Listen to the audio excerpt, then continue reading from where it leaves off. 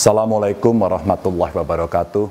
Wabah COVID-19 telah menghantam sektor usaha di tanah air. Di Jawa Tengah, hingga 6 April 2020 ada 191 perusahaan dengan pekerja terdampak sebanyak 148.791 orang, serta yang di PHK dan dirumahkan berjumlah 24.240 orang. Bagi teman-teman yang terdampak di PHK atau dirumahkan, silakan Anda mendaftar Kartu Prakerja. Ini program dari pemerintah pusat. Pendaftaran dilakukan di Dinas Tenaga Kerja Kabupaten atau Kota, atau Anda boleh juga ke Dinas Tenaga Kerja Provinsi.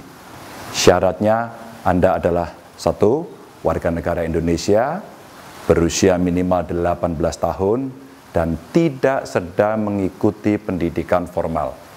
Dengan memiliki kartu prakerja, teman-teman akan mendapatkan pelatihan selama 4 bulan dengan fasilitas per orang senilai Rp3.550.000. Ada perinciannya.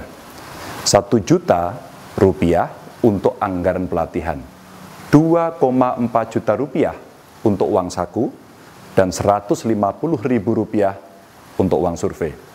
Saya minta teman-teman segera mendaftar dari kuota Jawa Tengah sejumlah 421.705 orang hingga tanggal 7 April ini yang mendaftar baru kurang lebih 19.000 orang atau belum ada 5 persennya.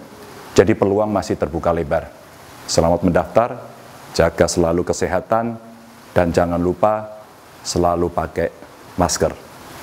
Assalamualaikum warahmatullahi wabarakatuh.